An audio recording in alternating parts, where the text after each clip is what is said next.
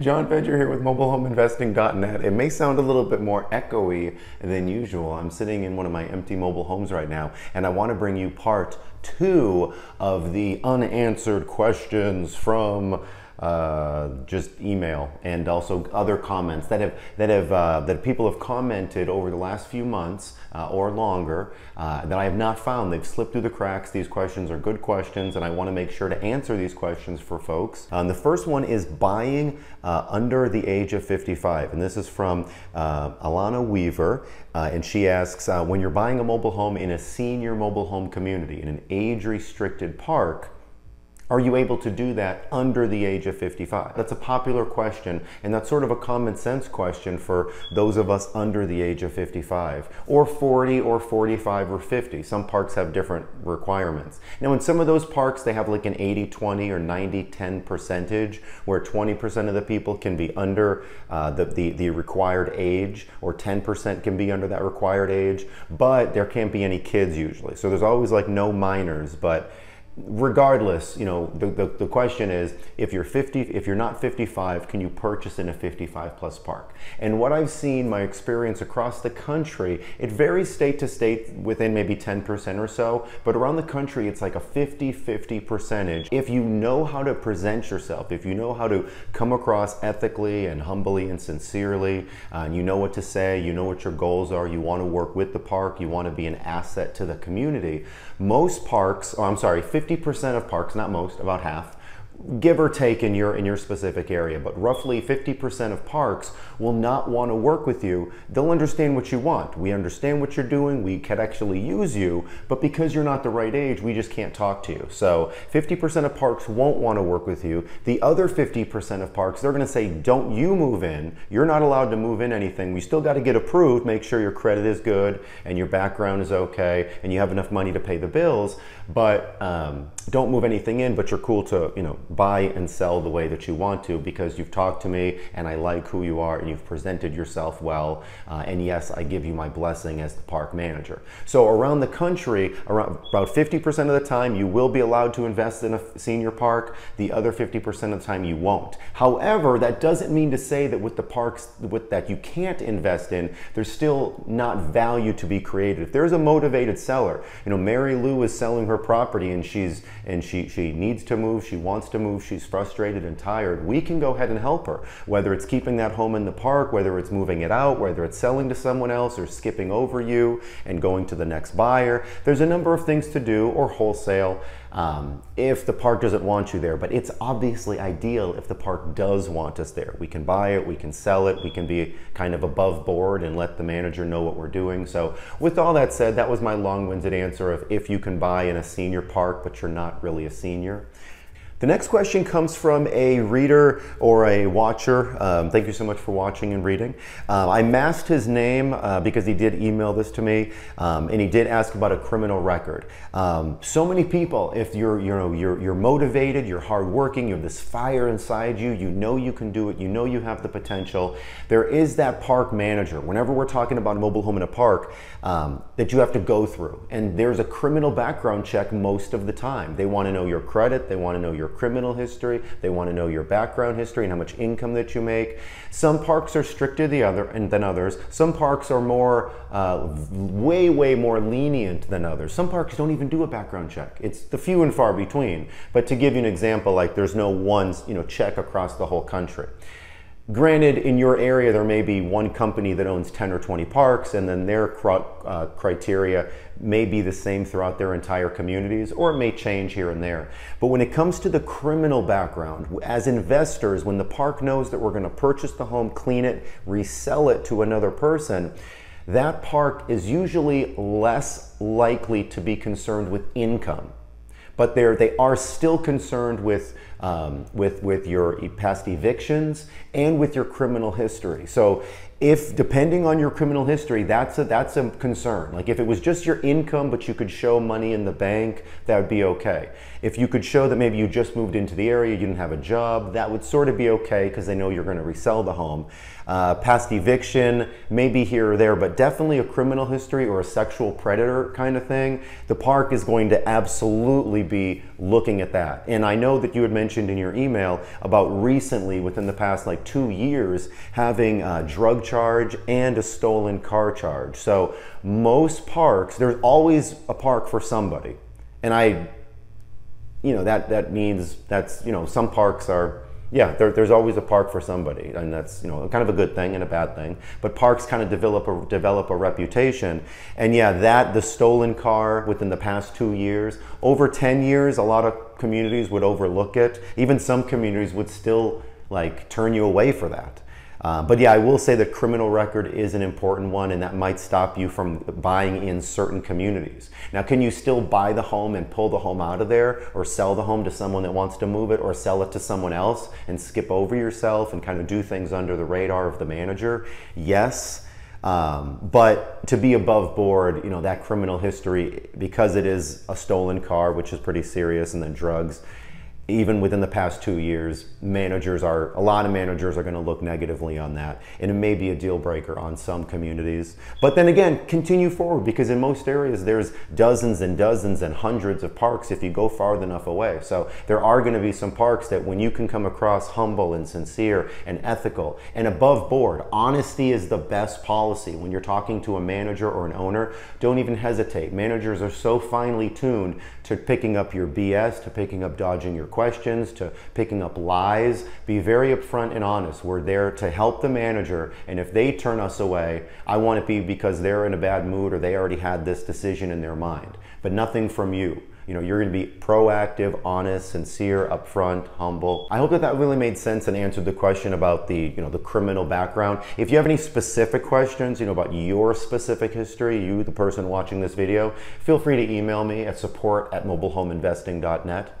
The next question uh, comes from how to find a VIN, a vehicle identification number, or a serial number in a mobile home. And there's a couple different ways. The first one is with a mobile home data plate.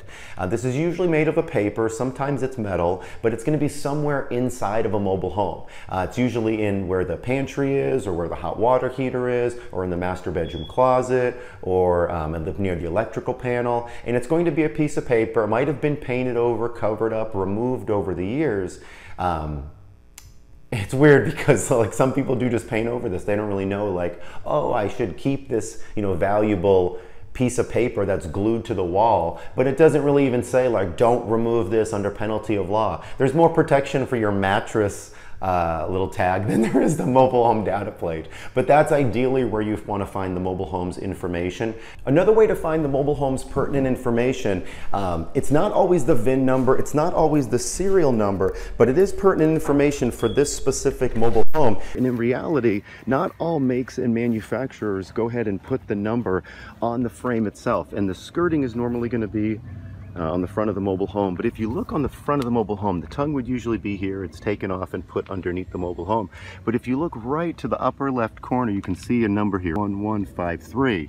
Uh, now that's not the VIN, that's not necessarily the serial number, but you could call up the state and go ahead and verify with them what that number is. If, there any, if there's any number showing on the file, um, showing on the state records for that number for a mobile home. Is it the VIN? Is it the serial number? In different states, it'll be different numbers. Uh, or it may be some other information, or it may not even help you.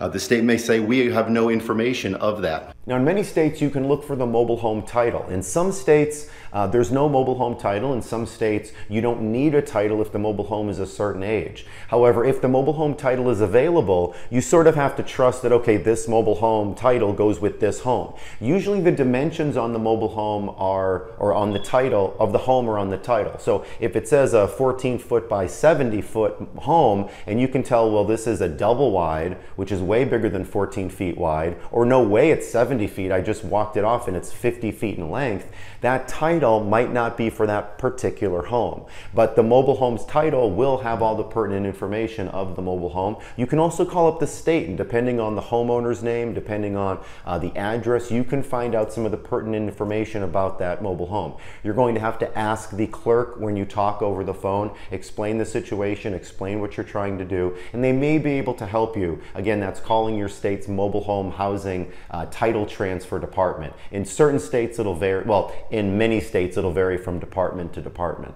So, um, with that said, if you have any questions about your specific state, uh, there, there's a link in the description about um, kind of transferring title in your specific state. I hope that that really made sense. Uh, the next question is an email question, and it's about mobile home permits. Uh, I don't talk a lot about mobile home permits in my videos, and are they actually look differently with a mobile home in a park, on land, a single family home? Um, and this is from an email. I'm going to mask the name of the person, but it's from Rhode Island. And it's interesting. Rhode Island is one of the few states that even a mobile home inside of a mobile home community where you're renting the land looks at that mobile home as real property. There's a warranty deed. There's not a title in Rhode Island. There's a warranty deed for a mobile home. Now, even with that said, that mobile home is a dwelling. So whether it's a personal property in most other states or it's a, a, real property, even if it's in a rental park or it's its own, on, on, on its own piece of land, the city, the local municipality wants to make sure that you are building up to certain codes. So in most areas, especially of the city limits, absolutely you need to pull codes if you're doing something that warrants it. Now, just like a regular single family home, not all investors or homeowners pull codes. Some people do it, they don't even know they have to pull codes. Hey, I want to replace the windows or replace my, you know, over 500 square feet of my flooring. Most people, some people don't even know I have to go talk to my city, pull a permit, put the permit on the door to let people know I'm going to be working, do the work, have an inspector come to inspect that work, and then sign off on that permit. The permit pay costs a little bit of money. That includes the inspector coming out. If you don't do the work right, they'll come out again. And once it passes inspection, boom, you're good to go. And it's just a way for the government to, in the local municipality to make sure you're doing the work correctly up to local codes.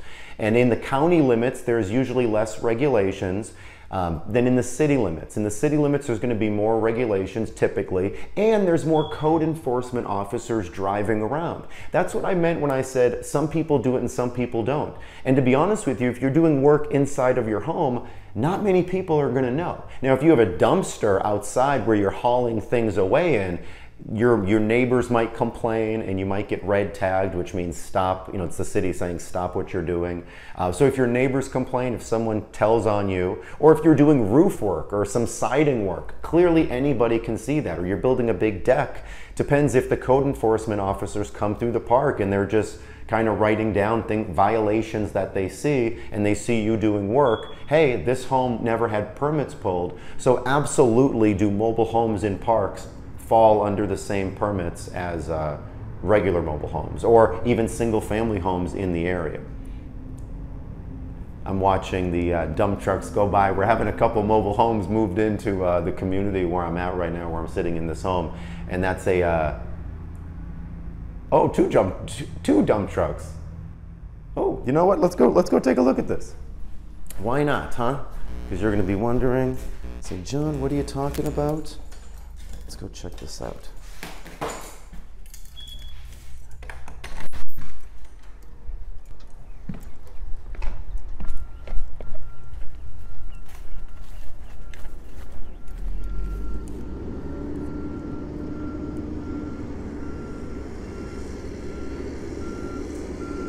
All right, so we got those two dump trucks coming in. Guys are working. All right, I love it. Love it.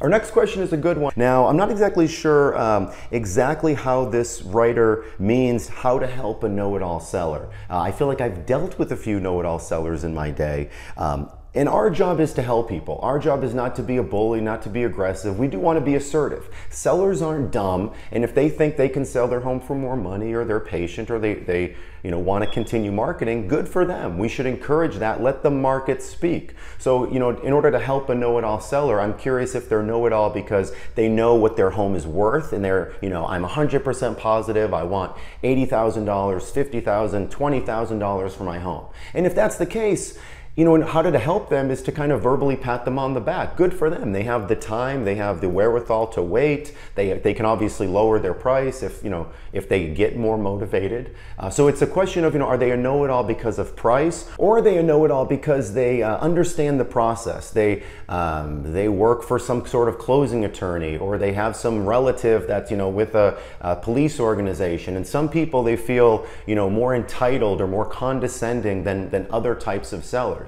And if that's the case, you know, maybe we can kind of work with those folks as best as we can to get the deal done. So if it's condescending, uh, but it it's stepping, you know, closer and closer to a deal, well then great, let's go ahead and do it. Let's suck it up and let's try to help folks and do what we need to do to get the deal closed. But if they're if they if they're a know-it-all on price and the deal's going to be skinny, well that's not even a question. You know, we're we're, we're going to work with people even if they don't match our personality style. We're still going to work with them, deal with the know-it-all people, try to be helpful.